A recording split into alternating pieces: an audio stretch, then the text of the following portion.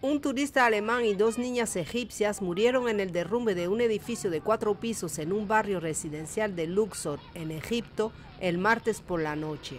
Al menos otras 13 personas resultaron heridas, entre ellas un turista alemán, quien se encontraba junto a la turista alemana fallecida. Ambos pasaban frente al edificio cuando se derrumbó.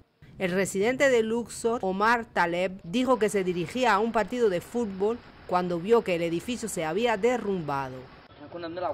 Estábamos jugando al fútbol y luego fuimos a la mezquita para rezar y cuando terminamos de rezar nos dirigíamos a ver un partido de fútbol y de repente había polvo por todas partes y vimos que el edificio se había derrumbado.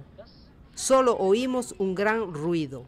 La calle del derrumbe fue acordonada y una excavadora levantaba y recogía los escombros mientras los residentes del barrio miraban lo ocurrido. Anne-Marie Garcia, Associated Press.